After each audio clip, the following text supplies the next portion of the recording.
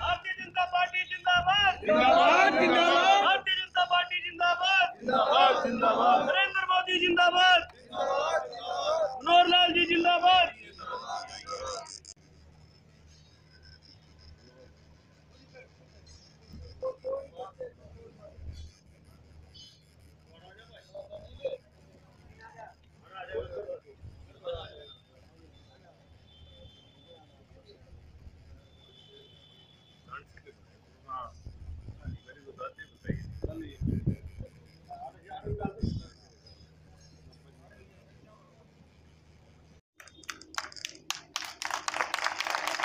और हमारे करमवीर जी सहसी और दीपक जी, दोनों आए और शमशेर खरखड़ा जी हमारे माननीय कदावर नेता है, भारतीय जनता पार्टी उनका पगड़ी बनाकर स्वागत कर रहे हैं। आज, हमारे एससी मोर्चा के प्रदेश अध्यक्ष राम अवतार जी वाल्मीकि ने एससी मोर्चा की कार्यकर्ताओं की मीटिंग ली और कार्यकर्ताओं में आने वाला चुनाव जो कल तक पार्टी की संभावना है कि टिकटों की भी घोषणा हो जाएगी और नामांकन प्रक्रिया भी शुरू हो चुकी है, इक्कीस तारीख का जो चुनाव है, उसमें कमल का फूल, भारी बहुमत से मैम में खिले। इसके लिए आज मैम के एससी समाज के जो कार्यकर्ता है उनकी मीटिंग ली गई और आज जो है पार्टी की नीतियाँ और प्रोग्राम अवतार राम अवतार जी ने विस्तार से बताई और अब आज से कार्यकर्ता जन जन में इस सारे प्रोग्राम को लेकर जाएँगे और कमल का फूल मैम से भारी बहुमत से खिलाएँगे। पार्टी के एससी मोर्चा के कार्यकर्ताओं की बैठक थी। इस बैठक में जो प्रदेश सरकार ने अपने इस पाँच वर्ष के कार्यकाल में एससी समाज के लिए जो योजनाओं को हमने जमा पहनाया है, वैसे तो भारतीय जनता पार्टी सबका साथ और सबके विकास की बात है और सबको साथ लेकर के चलती है। लेकिन हर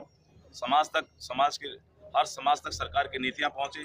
इस नाते एससी मोर्चा को ये जिम्मेवारियाँ दी गई हैं कि सरकार की योजनाओं को जन जन तक पहुँचाने के लिए भारतीय जनता पार्टी के एससी समाज के जितने भी कार्यकर्ता पदाधिकारी बंधु हैं वो प्रदेश सरकार और केंद्र सरकार की जन कल्याणकारी योजनाओं की जानकारी प्रत्येक घर तक पहुँचाए इस नाते ये कार्यक्रम पूरे प्रदेश में नब्बे के नब्बे विधानसभाओं में एससी मोर्चा के कार्यकर्ताओं को दिए गए और एससी मोर्चा के कार्यक्रम होने लग रहे हैं। दूसरी पार्टियों कहाँ तक देखते हैं? दूसरी पार्टियाँ है ही नहीं भाई साहब आप स्वयं देख रहे हैं। ये भारतीय जनता पार्टी के प्रदेश नेतृत्व ने पिछहत्तर पार का नारा दिया है लेकिन प्रदेश की जनता जिस तरह से भारतीय जनता पार्टी के साथ खड़ी हो गई है उनके कामों की सराहना हो रही है आपने लोकसभा के चुनाव में देखा कि 10 की 10 लोकसभा सीटें प्रदेश की जनता ने माननीय मनोहर लाल जी को देकर के माननीय मोदी जी को मजबूती दी केंद्र में। उसी तरह से हरियाणा में पिछहत्तर नहीं पिचासी पार की जो नारा ये साबित होगा पिछहत्तर की बजाय पिचासी सीटें हरियाणा में प्रदेश की देने जा रही है।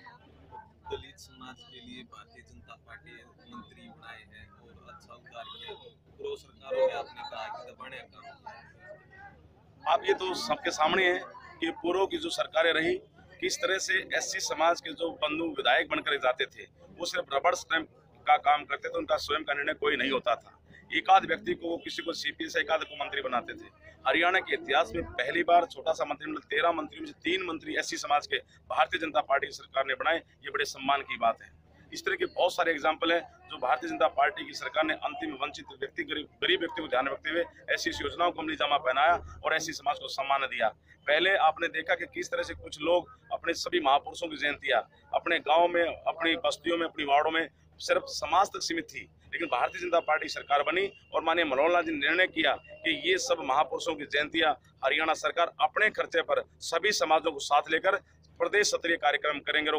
पूरे हरियाणा में माननीय मुख्यमंत्री ने ये योजना बनाई और कानून बना करके पूरे प्रदेश में इन चीज़ों को अमली जामा पहनाया और प्रदेश सत्र के कार्यक्रम सभी महापुरुषों के किए, उनमें सभी समाजों को बुला करके बहुत भव्य कार्यक्रमों से सामाजिक समरसता को आगे बढ़ाया और भाईचारा आगे बढ़ाया, जिसका परिणाम लोकसभा में देखने को मिला और आगे विधानसभा देखने को मिलेगा।